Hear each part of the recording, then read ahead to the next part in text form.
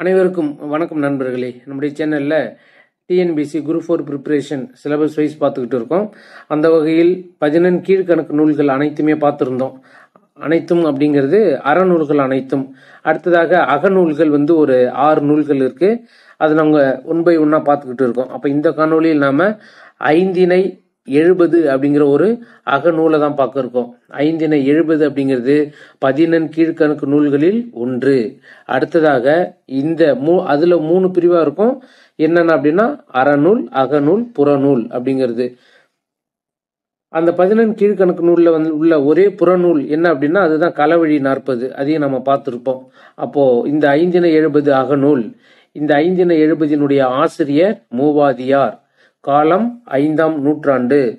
மொத்த பாடல்களின் எண்ணிக்கை எவ்வளவு அப்படின்னா எழுபது பாடல்கள் இருக்கிறதா சொல்லியிருப்பாங்க. ஐந்தினை எழுபது.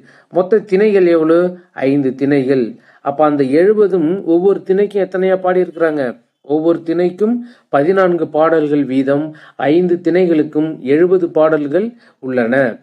இந்த அகத்திணை அக நூலானது திணைகளை வந்து ஒவ்வொரு விதமாக ஒவ்வொரு நூலும் வரிசை முறை சொல்லியிருப்பாங்க. கடந்த நூலில் நம்ம பார்த்துருப்போம்.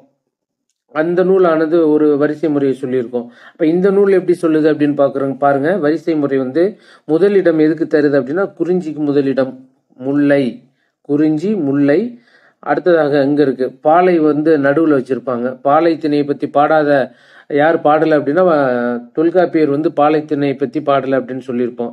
அப்போ அந்த பாலைத்திணையானது மூன்றாம் இடத்திலும் நான்காவதாக மருதமும் ஐந்தாவதாக நெய்தலும். ஐந்தினை எழுபது திணைகளை வரிசைப்படுத்திய முறை எது அப்படின்னா குறிஞ்சி முல்லை பாலை மருதம் நெய்தல். இந்த வரிசையில தான் ஐந்தின எழுபது பாடல்களை வரிசைப்படுத்தியிருக்கோம்.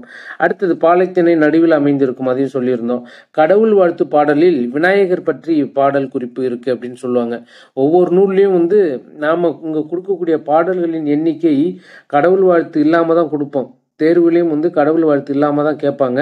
அப்போ பாலைத்திணையில் வந்து கடவுள் வாழ்த்து இருக்கும். அந்த கடவுள் வாழ்த்து பாடல் எந்த தெய்வத்தை வைத்து பாடியிருக்காங்க அப்படின்னா விநாயகரை பற்றி தான் பாடப்பட்டுள்ளது.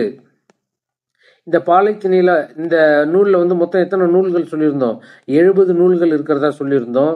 அந்த எழுபது நூலில் வந்து நான்கு நூல்கள் இதுவரைக்கும் கிடைக்கல. நான்கு பாடல்கள் வந்து இதுவரைக்கும் கிடைக்கல. அது எந்தெந்த திணைகளுக்கு உரியது அப்படின்னா முல்லை திணை திணைக்கான இரண்டு பாடல்கள் கிடைக்கல. நெய்தல் திணைக்கான இரண்டு பாடல்கள். ஆக மொத்தம் நான்கு பாடல்கள் இதுவரைக்கும் கிடைக்கல அப்படின்னு சொல்லியிருக்கிறாங்க. அப்ப இதுவரைக்கும் நம்ம பார்த்தது ஐந்தினை எழுபது. அடுத்த காணொளியில் மற்றும் ஒரு நூலை பற்றி காணலாம்.